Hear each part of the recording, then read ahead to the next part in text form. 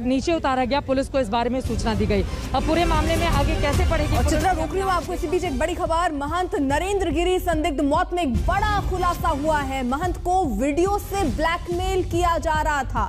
सूत्र ये बता रहे हैं कि कुछ वीडियो थे जिसको लेकर उन्हें ब्लैकमेल किया जा रहा था। एसपी के पूर्व दर्जा प्राप्त मंत्री पर दरअसल ये ब्लैकमेलिंग का शक भी अब जताया जा रहा है। पूर्व दर्जा प्राप्त मंत्री आनंद गिरी का करीबी था और वीडियो के माध्यम से उन्हें परेशान किया जा रहा था। प्रयागराज पुलिस को कॉल डिटेल से ये सुराग हाथ लगे हैं और अब इसी दिशा में जाँच को आगे बढ़ाया जा रहा है। महंत नरेंद्र गिरी संदिग्ध मौत में फ़िलहाल बड़ा खुलासा हुआ है कि एक वीडियो था जिसके माध्यम से महंत को परेशान किया जा रहा था ब्लैकमेल किया जा रहा था और ये बार बार उन्होंने उस वक्त भी ज़िक्र किया अपने शिष्यों से कि आनंद गिरी जो कि उनका शिष्य है वो अभी भी उनको परेशान कर रहा है। आरोप एसपी के पूर्व दर्जा प्राप्त मंत्री पर लग रहा है कि उन्होंने ही ब्लैकमेल कराया। पूर्व दर्जा प्राप्त जो मंत्री है वो आनंद गिरी जो कि नरेंद्र गिरी का शिष्य था उनका करीबी बताया जा रहा है।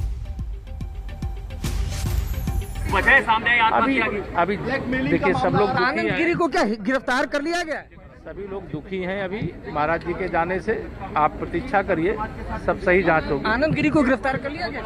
जानकारी यही है। देखिए केशव मौर्य है जिनका कहना है कि आनंद गिरी को गिरफ़्तार कर लिया गया है यही जानकारी है और इनका कहना है आज तक से इन्होंने बातचीत की है जिनका कहना है कि हर मामले की जाँच की जा रही है। कैमरामैन प्रदीप गुप्ता के साथ अरविंद ओझा प्रयागराज आज तक।